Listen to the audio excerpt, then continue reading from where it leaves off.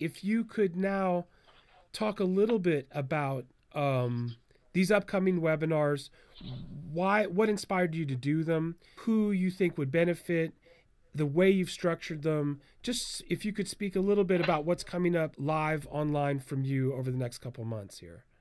Sure. Um, the first webinar that we're going to be doing is called, well, it's, it's going to be how to make money with your music.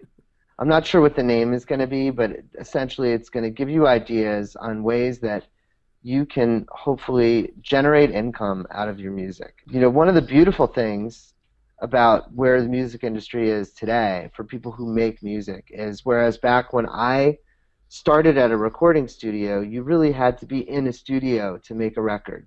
But now you don't. You can have a really good computer and some good modules and the ability to make good sounds, and you could make beautiful music on a computer without ever having to pay for a studio.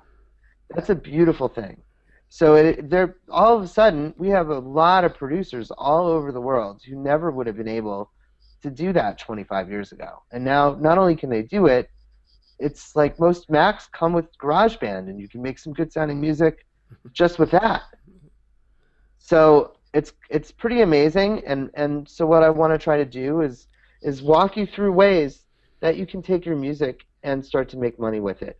Whether it's creating music specific for commercials whether it's creating a library that could go into like an into a place where they license music for lots of different purposes like websites or people's um, independent films or whatever and you submit your music and then they choose it and then they pay for it and you get paid every quarter, that sort of situation, or putting an EP together and selling it on Bandcamp, or trying to get it onto some of the more DJ-oriented dance music sites, um, or raising money to make music. Um, all of these things are really important, and it's and it's crucial to understand what your goals need to be as you pursue these different avenues, because it's not as simple as it seems, and sometimes understanding like, oh, if I do this, I can and I have a, enough options like this, it'll actually help me place one of my pieces of music so I get paid.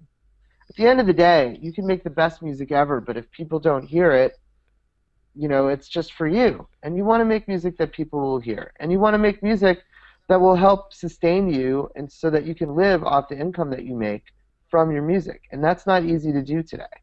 So I'm going to try to give you ways, tools, and ideas that will help you go back to the drawing board and build your libraries in a really strategic way so that you can try to grow your art to the best possible place it can be, but also try to grow your commerce at the same time. And be mindful that the two, when they meet, that's really where you're in your sweet spot.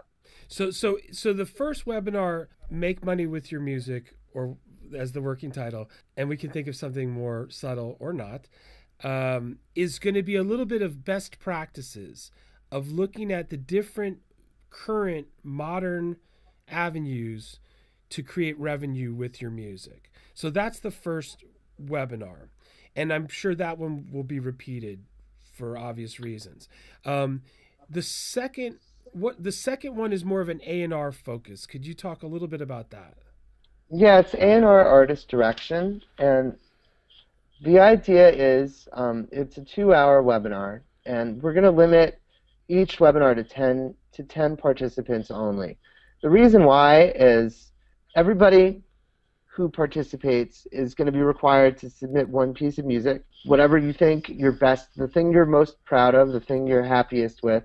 That's what we want to hear, and we're going to listen to it. Each so we have two hours. That's 120 minutes. We have 10 people. So we're going to spend minimum of 10 minutes on each person's song, which includes playing the song and then talking about it. Talking about the things that work really well musically, talking about the things that still need to, to be improved, talking about how to hone what you're doing so that it works better, and, and trying to give you encouragement so that you can go back to the drawing board and feel inspired to create a whole batch of new music based on the input that you've gotten. But also, all the students who are participating will be able to chat in and, and, and send their comments on the music.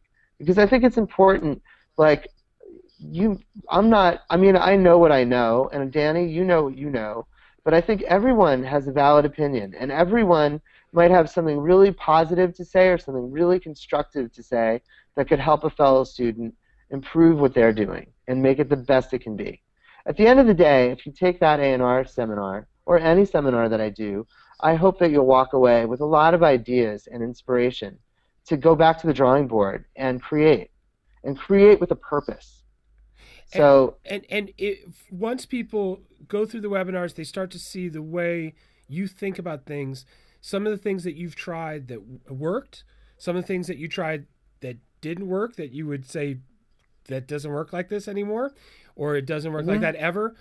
If people want to have an ongoing private mentoring A&R management relationship with you, that's now possible. Absolutely. Okay. I mean, I can do either half hour or hour long sessions where we could really go through. If you're at that point where you're actually trying to get noticed and you have what you think is a quote unquote press kit, let's go through everything. Let's let's look at all the links that you have. Let's listen to your music. Let's look at the promo pics you have. If you have videos, let's let's see those. Let's hear the work you've done with other people, uh, and let's try to analyze it and help you focus. At the end of the day, I don't think I can make every artist a great artist, but I think I could make pretty much any artist better than they are. I can help them improve what they're doing. I can help them find an excitement for the future. And I think that's a lot of what inspires people to just keep creating.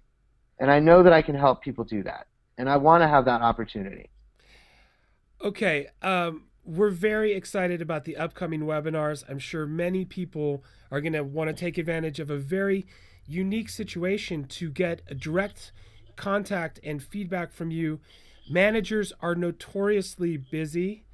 A&R people are notoriously busy and flaky. Uh, it's impossible sometimes when you're independent and not well known to get access to real information.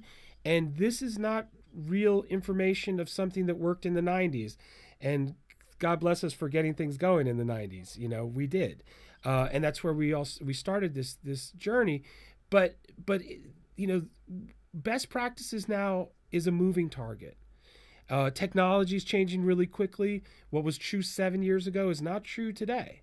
And yet, there are certain classic routes that I think you're going to show with sort of the modern branches of how to get stuff done. And with two current Grammy nominations, uh, a world class touring DJ, a world class celebrated touring band, I think you're in a very unique place to help people and to help people get to the next to the next level.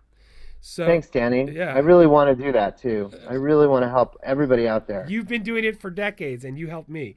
So get me started and uh, along the way. So thank you, Scott, for taking time today uh, to tell us your story and and what you're cooking up for everybody. Uh, thanks, Dave.